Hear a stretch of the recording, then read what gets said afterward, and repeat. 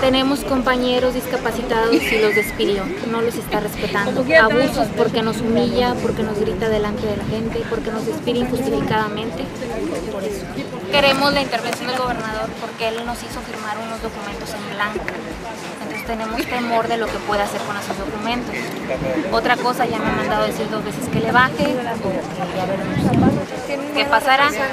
Este, sí. De hecho, algunas personas, compañeros nuestros, no vinieron por temor, porque lo conocen como es. ¿Es ¿Cómo es? violento?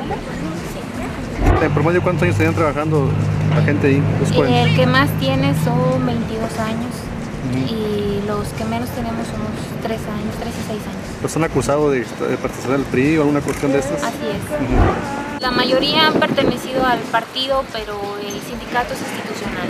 Se lo dijimos a él en la reunión inicial cuando nos contrató.